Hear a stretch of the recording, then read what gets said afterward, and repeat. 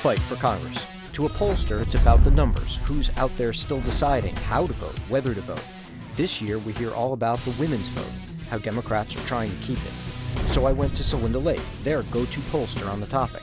It turns out, to understand what someone may do on election day, first you have to understand what they face in their lives every day. You're famous for identifying these groups of swing voters, specifically women voters.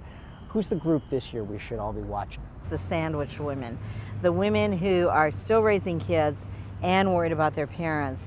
They have been very hard hit in this economy. Their husbands have often been laid off, even if they weren't.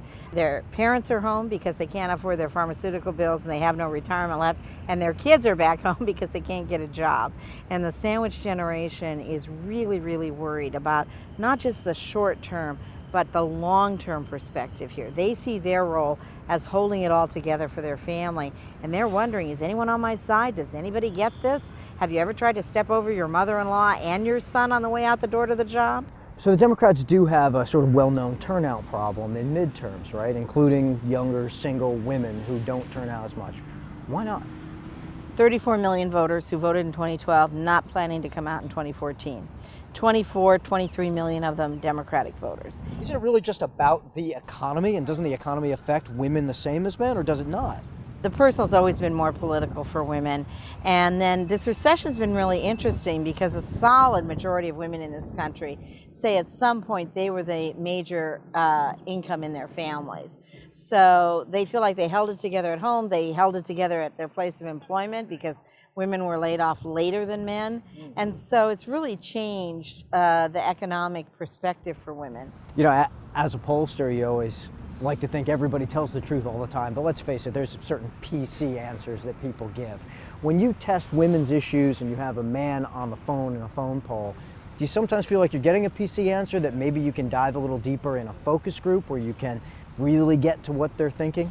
Yes, and we did focus groups of UAW workers, older UAW workers, beefy guys, been on the line their whole lives. And the male moderator asked about equal pay and dead silence in the group. So I'm thinking, okay, now we're going to get the truth. And this one guy says, okay, here's the way I see it. If the little lady doesn't get paid as much as I do, then I have to go make more money. And the only way to do that is overtime, and it doesn't exist anymore. So I think the little lady should be paid as much as the man. And I said uh, to my friends, that's not the most feminist articulation I've ever heard of that policy, but the whole group said, yeah, the little lady needs to be paid the same as men. So, uh, but you do get um, the reality, honestly. And what I like about focus groups, in the focus groups, people say, yes, but. And it's that but that's often the most important thing that you're hearing. Is it harder to find candidates who could appeal to these groups because so many candidates are wealthy or come from wealthy families? And is there a disconnect that you see in the polling between the voters and even the women candidates that you've recruited? Totally. What we find is these voters assume all the candidates are wealthy, even the ones who are not. They assume, okay, well, if you had kids, you had some governess raise your kids, but I, I'm the only one raising my kids that I know about. My husband helps every once in a while. Uh, so, absolutely, they feel like people have no idea what it's like to juggle two jobs, three jobs, no idea what it's like, uh, that their life is constantly churning. The economy overall is still seen as not doing well. Yeah particularly it seems for members of the Democratic base, people who yeah. earn less money, um, some minority groups, etc.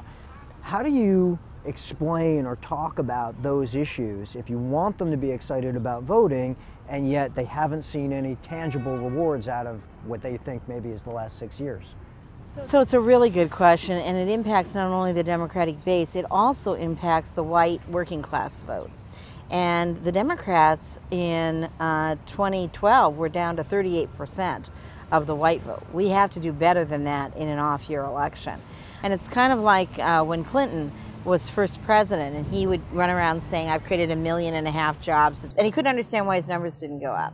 And we did focus groups on that. So I said, The president's created 1.6 million jobs. What do you think about that? And she said, Yeah, and I've got three of them.